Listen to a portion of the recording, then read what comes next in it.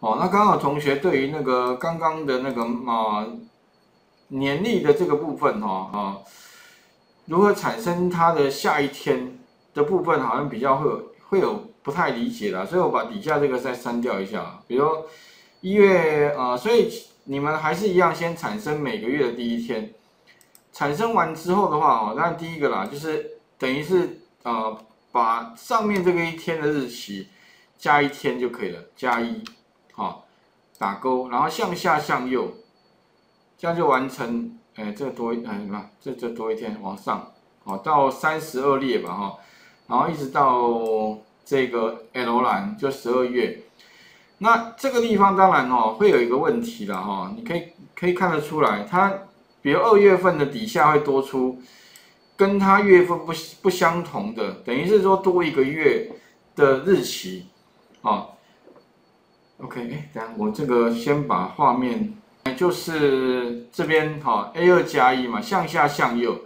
那可是遇到的问题就是说呢，它会产生哈，比如说二月或者是四月，其他月份也有啊，只要三十天的，它都会多产生啊不应该出现的资料。那如果假设啊，我不希望它出现的话，当然我们可以用判断的，判断什么？呃，如果它的前一个日期的月份哈，跟加了一天之后，哎，特别是哦，跟加了一天之后的月份，假如不一样的话，那我将来输出哈就是空的。所以哦，底下就不意思就说以这个来看好了。比如说我要我现在假如说以这个储存格来看。它的上一个储存格就二二八，二二八如果说怎么样，哎，它的月份是二月，哦，用慢时判断。那假如说呢，把这一天加一天之后的话，那就变三月一号，三月一号变成三了。如果不相等的话，那帮我输出空的。哎，这个程式这个逻辑该怎么下哈？特别注意哦，这个其实相对是比较复杂的了哈。那我们可以这样的哈，就是把 A 二加一哈减下来。然后在这边先插入一个什么逻辑判断，if，这里的话你可以用用打的啦，我是建议用打，因为如果你在用慢时哦，其实会相对复杂，你就打慢时。然后呢，去把这个储存格的上一个上一个储存格哦 A 二好了哈，它现在在 A 三哈，这个日期抓过来之后的话，把它的月份抓出来，那抓出来应该就一月一嘛哈。跟哪个日期比较？跟加了一天啊，加了一天就是什么慢时，就是这个哈，加了一天，这个加一天加一就可以。两个比较，当然有可能是等于的。哎，如果等于，表示是哎一样的，那我的习惯是不等于的，不等于就是这两者什么差别？就是 true 跟 false 要放的是要颠倒而已啦。OK，其他并没有不一样啊。那这里的话，我们只是说强调说它的月份不相同，哎，加一天之后也不相同，好，啊，如果不相同的话呢，那主要我们是希望什么？就不要输出任何的资料。反之的话呢，跟刚刚一样，就 A 二加一，哦，这样子，那你会发现呢，按确定之后啊，向下填满，OK，好，啊，跟向右填满的话哦，这边应该就 OK 了。三月一号的问题已经解决了。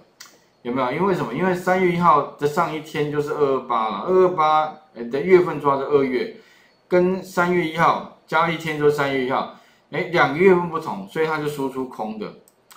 那这个为什么错？因为它的前一个是空的，空的，你如果把它怎么样，加了一天还是就变一了，所以就变成就错误了，就是你不能。拿它放在慢时里面，它会发生错误，所以错应该是错在这边跟这边。OK，加了一天，这个也不对哈，它回来是 value 错误。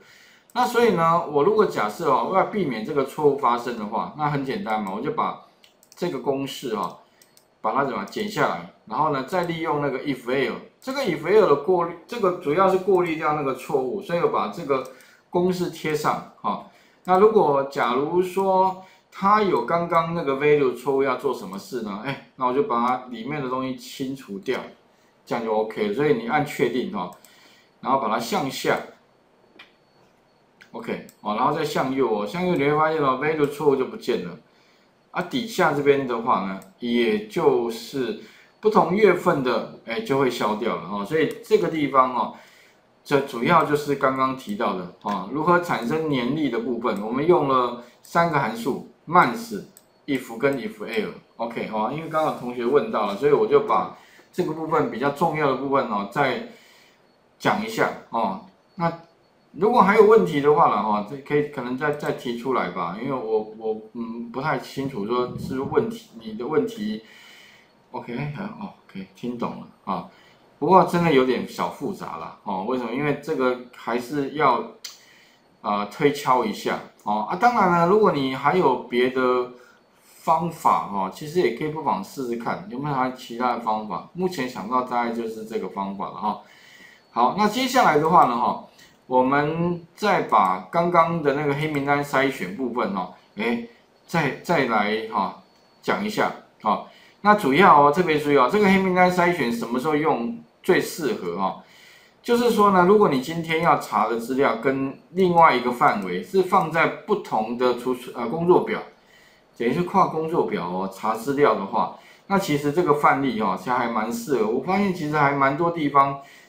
可以做那个什么，哎，不同范围的比对，所以哦，不同范围的比对哈，最适合其实用什么？刚刚讲的康以符加上资料里面的筛选，哎，这样很快就可以把我们要查的资料查出来，并且放在第三个工作表的这个范围。OK，啊，不过最后最好是把它再写成 VBA 了哈，因为如果写成 VBA 的话。哎，将来就按个按钮就 OK 了哦，你就不用查了，反正你就把资料更新一下啊，最好连资料更新的那个程式也都写好，那这样什么事都不用做，按按钮就 OK 了哈。好，那我们来看一下哦，刚刚比较重要的部分哦，第一个是游标先放在查询名单的 B 二，然后输入什么呢？插入这个 conif 的函数啊，我们刚刚用那个 conif 哈，就是统计里面的 conif。不过跟各位讲一下哈，这个如果 range 它是，比如我刚刚是啊，切到这个黑名单，然后游标放在 A 二，Ctrl Shift 向下，有没有？但记得一定要 Ctrl，你不要自己慢慢拉，因为它跑很久，两万多笔哈。那这个地方有个缺点，第一个的话呢，那个 range 啊，它是跨工作表。第二的话，你要再锁锁什么？锁那个 A 二的二前面要加个前。如果没有锁，那就范围跑掉。那如果是这种情况发生的话，哈，我是建议啦，这一个范围呢，请你先定义名称，以后的话呢，配合什么？配合 F 三这个快速键啊，功能键，把那个名称调过来就可以。那怎么做？我先做这个，这个的话呢，我建议哦，你先把它改啊，黑名单有没有？将来我需要这个范围，那我就。诶，怎么定义名称最简单的哈？第一个游标放在你要定义名称的上方。不过这因为上面有个黑名单，我先拿这个来当名称，Ctrl Ctrl C。然后怎么定义 A 二哈？一直到往下名称叫黑名单，一选 A 二，二的话 Ctrl Shift 向下。好，把范围选起来之后哈，然后请你在它的。这个上方会有个叫名称方块的，哎，这这个地方哦，输入它的名称，Enter 就好了。那以后啊，Enter 之后呢，它以后哈就叫这个名称黑名单，Enter。好，那以后呢，这个范围就叫黑名单了。那我要怎么去操作呢？一样，其实跟刚刚的用法哦，并没有太大差别，只有差别是说，如果他问你范围的时候哈。范围在哪里？好，你就按 F 三。那这个时候的话呢，你按 F 三之后哦，它就会把什么呢？把那个你刚刚定义好的那个范围有没有？哎，叫出来。那以后的话就把这个名称呢填上就会。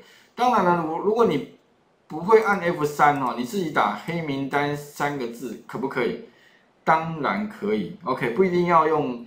啊，F 三的哈，你自己打也可以的哈。好，那这个范围黑名单哦，去帮我找找看有没有这个 email 信箱。哎，有的话给我一，没有的话就给我零。好，按确定。那你会发现向下填满。就完成了。而且哦，你会发现哦，如果你是用定义名称的话，第一个哈，它的公式相对比较短。第二个的话呢，里面就没有双引号这个东西。那如果没有双引号的话呢，势必哈，如果 VBA 里面用的话哦，哎，你会发现啊，就不需要说一个双引号要变成两个双引号的这种需求了。OK，所以如果搭配 VBA 来使用的话，哎，那会更简单哈。好，第一个哦，我们用 if，哎，所以你会发现公式也变短了哈。第二个话呢，游标放 B1 筛选。再把那个我们要的一留下来，好，然后再来什么？游标放 A 二哈 Control Shift 向下，把这个范围的字啊 Ctrl C，贴到查询结果，哎，这样就完成了。OK，哎，不过哈，假如说呢，我希望哈以后，呃，如果可以一次就怎么讲，一次做完以后就不用再做一样的事情的话。那我该怎么做？当然了，你可以用什么？把刚刚的动作怎么样？哎，不过最后取消筛选哈。你可以把刚刚的动作怎么样？录制剧集，有没有？哎，录下来之后哈，然后呢再让它执行。那你可以看到了，我云端白板上面哈，其实也有放。不过跟各位讲一下哈，如果你是哎哎刚刚讲的东西，我这上面都有哈。然后呢，如果你会发现了，当然你可以用录制剧集的。那这个是之前录下，你会发现哦，录完之后哦，最好还是加注解啦。不过你会发现哦，这个录制完的剧集哈，哇，程式非常冗长，加起来大概二至少二十行吧。不过当然我有加注解了哈，那它就是就把刚刚的动作录下来而已啦。OK 哈，但是呢，如果假如说你不想写这么就是冗长的程式的话，我是建议你可以自己写。可是问题要怎么写哈？这里的话呢，可能会牵涉到几个问题。第一个，跨工作表，因为这里面的话有三个工作表，那资料如果要交换来交换去的话，哎，这个地方的话呢，会遇到这跨工作表的公式输出要怎么做？第二个话就是说我如果要筛选跟复制资料，哎，在 VBA 里面呢该怎么做？这边的话一样会牵涉到跨。工作表的问题哦，OK，哎，所以请各位哈，也许试试看吧哈，刚把刚刚那个，如果你对那个刚刚日期这个还不太熟悉的话了哈，因为我刚刚讲的，你可以再再复习一下。第二个的话就是哈，把那个刚刚的我刚刚讲哦，黑名单这个地方先定义一个名称，好，然后再来康怡服部分的话，就是啊，记得啊，这边的话是用 F 三。好，然后把这个名称加上来，OK，好，那请各位试试看好了，OK，了画面再还给各位哈。